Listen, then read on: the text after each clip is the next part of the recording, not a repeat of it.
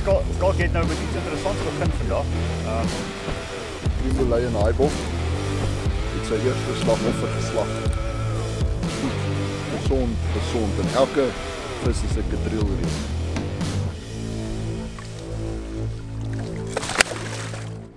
Kan ek maar kep. Sweet. Nou ja. Is ons eerste nee, ons tweede byt. Johnny het 'n cab- Cabero snapper aangehad wat sy lyn afgepik het. En uh ja, hier het 'n karpie en dis daai eerste gooi van my, die een met die krimbulei uh uh né? So krimbulei en haaibol het sy eerste slagoffer geslag.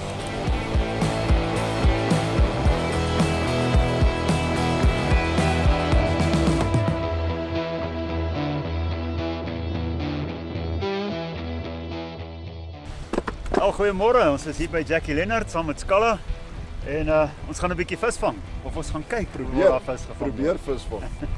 Skalla, welkom. Uh, Dankie, baie dankie. Dit's 'n perfekte weerdag, Ja. hè. Ja, weet jy wat ek sê, dis nou tipies val dan. As jy mos hier uitklim, is dit so grou en mislik en dan hier by 11 uur dan brand die son jou dood, 12 uur reën jy nat. So, Ek maar ek- dis dis val. Ek sien die weer sê ons gaan reën teen 12 uur. So, sien die vis moet gevang wees teen dan dan en klaar wees en 'n sak vol. kom ons draai Is ons. julle in vir die is julle in vir die ding? Gelukkig Werner, uh verstaan ek dat die groot karpe mooi byt. Dit reg oor die valling, Jackie Lennard het begin uitteen, dus kom ons om te sit vir ons te wys dit hopelik van ons 'n paar maal lank is. Okay, ja, ek ek ehm moet ek sê, jy weet ons is ongelooflik geseën met die reën ehm um, deesdae en die vlak wat so opkom en dit bring natuurlik bietjie ander dinamika in in terme van die water wat opkom en en so voort. So Ja, so nee, interessante dag, paar goedjies in die in die koker, paar ander goed gaan doen. Maar ons sal julle wys. okay.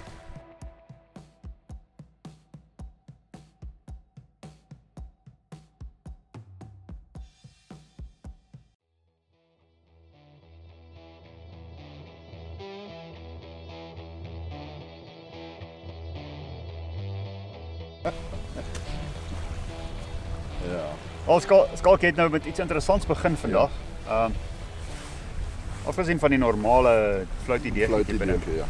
Ehm met betrekking tot tot jou dips, wa- waarmee het jy begin en hoekom? Ehm Werner, ek het begin met krimbulei en met haaibol. Nou haaibol is maar gemmer, so dis maar dis die vis is gewoonte aan. En die krimbulei is seker een van ons mees mees underrated superkaas dips. Nou hy het 'n fraksie coconut en en caramel, jy weet so niks wat die vis nie kan eet nie, maar ons hengel hom. Jy weet en ek Ja. dink dis omdat dit dalk bietjie volksvreemd is. Ja. So ek gaan hom vandag gooi. Ek het net so gevoel in my hart gehad vir dit. Eerste keer dat ek dit gooi, so ek kan net wen of verloor. Okay, en hierdie groen bol, is dit nou 'n nuwe variasie of is dit is dit 'n nuwe voer? Hierdie groen water van ons. Kyk hoe lyk dit hierso nou. Toe ek dit aansit die dog 'n keer, maar ek het nie lucerne in. So, so hy's bietjie vreemd. Die ehm um, die wind kom in ons rigting en uh, hier's baie alge in die water. So wa- wat verwag jy sal dit doen aan die aan die vis? Byvoorbeeld die graskarpe wat hou van 'n algeploeg. Ja, ek dink as jy hier voor hengel en jy het dit ook net te reg gesê, hulle hulle sal kom en hier kom eet hier naby, dink ek, want kyk daar's hoe lyk jou hand. So en dis maar 'n kossies, so. Ja. Maar ek wil nie graskarp vang vandag nie. Ek is bietjie bietjie elitisties. Ek gaan 'n karpie probeer vang. Gooi hom laat ons Kom ons sien. kyk, kom ons probeer.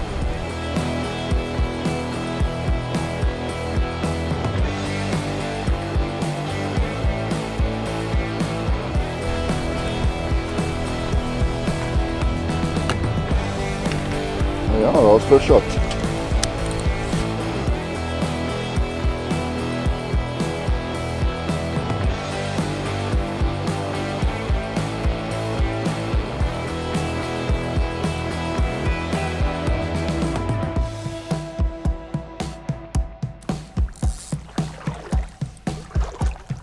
Is nou net so by 2 uur en um, nou sit asof die tempo begin optel. Ja, nou kyk ons dit net nou. Ehm um, het ons die app gekyk. En uh, toe sê hy hier by 2 uur is nie 'n baie goeie dag, so 16%. Ja. En toe sê hy by 2 uur tussen 2 en 3, ek sê 2 en 4. Ja, van, van 3 uur af eintlik en is nou 2 uur. Okay, begin So dit, dit ja, begin beter aan. Johnny, waar is jou vis, Johnny? O. So ons het nou 'n trice up. Ja. So 9 9 minute is 7 minute, 9 minute en En 12 12 minute tempo. So dis 'n dis 'n re- reasonable tempo. ja, nee, vir enige ou se boekie is dit sinvol. En Ja. ons hengel nie verskriklik ver nie. Dis ewe alles hier tussen 100 en 120 omtrent. Ja. 150. Net John Henry wat 250 hengel. Sy arms is so dik, hy gooi hulle maklik. Maar ek, ek kan ook 200 meter gooi. As ek twee keer gooi. Ek wil afgooi.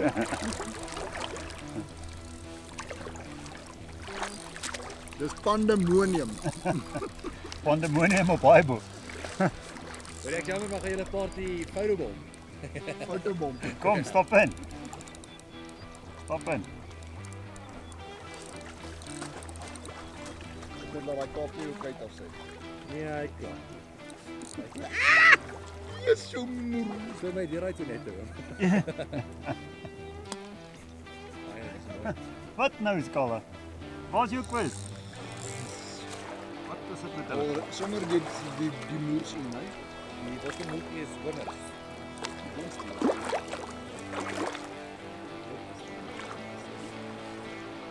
Olifantie, olifantie.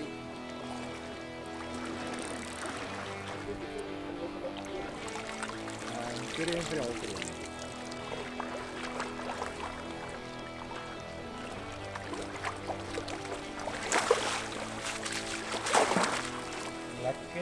Jack. Jackie Jaguar. Lekker mooi.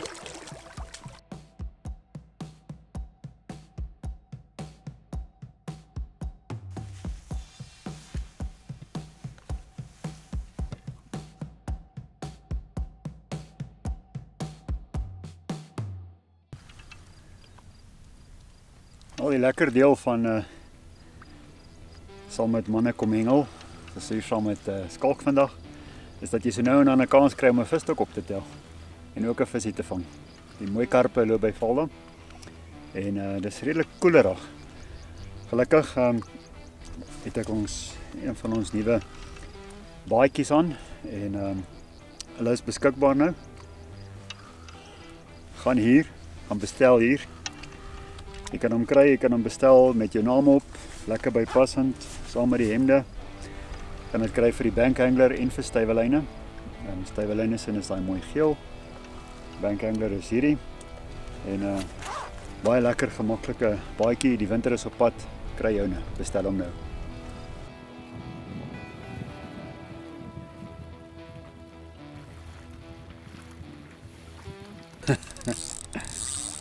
Hey ta. Wel, dit is eintlik 'n draai eintlik 'n baie goeie dag uit. Um volgens die barometer en die die fishing app wat veronderstel is om te sê dat dit 'n slegte hengeldag is en dat ons nou op die slegste deel van die dag is. Die tempo begin nou optel. Dink ons gooi die kolletjies lekker raak. En um nou is ons al laer om af na so onder 10 minute se tempo. Wat goed is. Baie lekker. Interessante dag, 'n paar interessante goed by skalk geleer. Um 'n paar goed wat wat 'n bietjie anders is en kom ons noem dit uit die boks. So dit is baie lekker. Geniet dit en uh vir my is dit eintlik lekker om weer 'n bietjie terug te wees by lekker pap gooi vir die dag.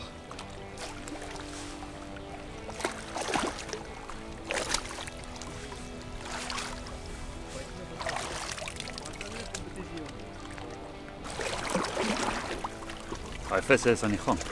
Wel dit lyk my ek het nou een van skok se stokke geërf. Ek het nie bedoel om om te hengel nie, maar toe die een loop, toe sê hy vat hom. Ek vat hom toe. Ek kom uithaal en weer terug en sê gooi hom. So nou gooi ek en vat hom voor, gooi hom en vat hom so die hele tyd. So dis nou een stok het nou myne geword.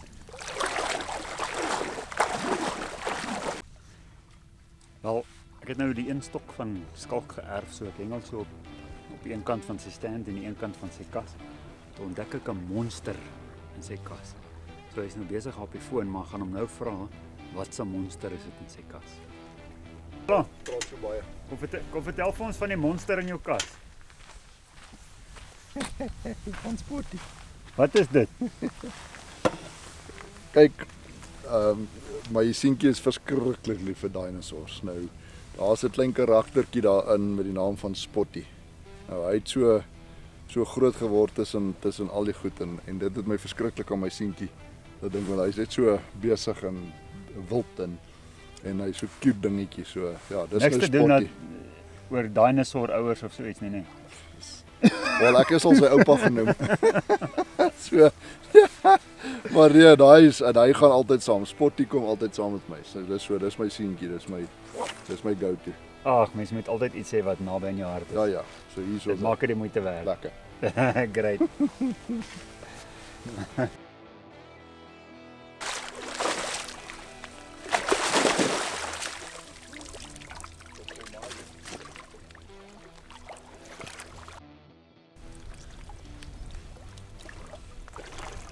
Ah, sy pragtig. Lekker dag hier saam met Skalk en John Henry. Um by Jackie Leonard. Die weer is nie van die beste nie en is nie die best, beste tyd vir um vir hengel nie. Maar dis 'n voorreg. O, oh, dis te mooi.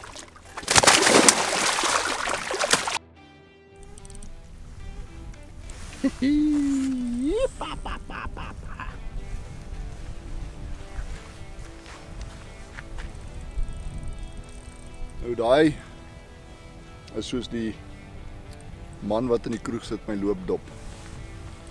Ek het nou ek het my hart uitgewag vir hom. Hy het seker so 20 minute gelê die visie se Jenny 'n bietjie gaan sit. Maar weet soos ek en Werner net nou gepraat het.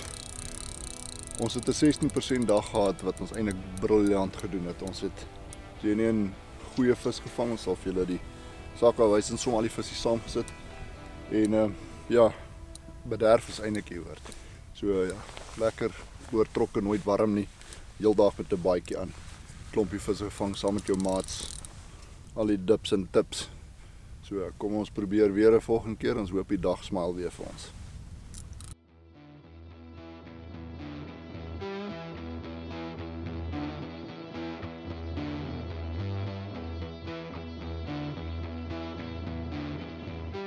Wel julle, dit was die dag, 'n heerlike dag gewees. Skalk is besig daar met sy ehm um, loopdopvis soos hy hom noem.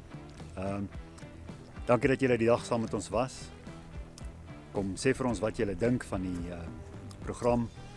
Lewer kommentaar, like dit net hier en uh subscribe aan die kanaal. Kom kyk saam met ons elke keer en gaan ook na foranglers.co.za om soveel meer inligting te kry. Right, nou hierdie is 'n is nou regtig 'n gekombineerde poging maar. Uh 25 vis, 50 fokkie daar. Ja.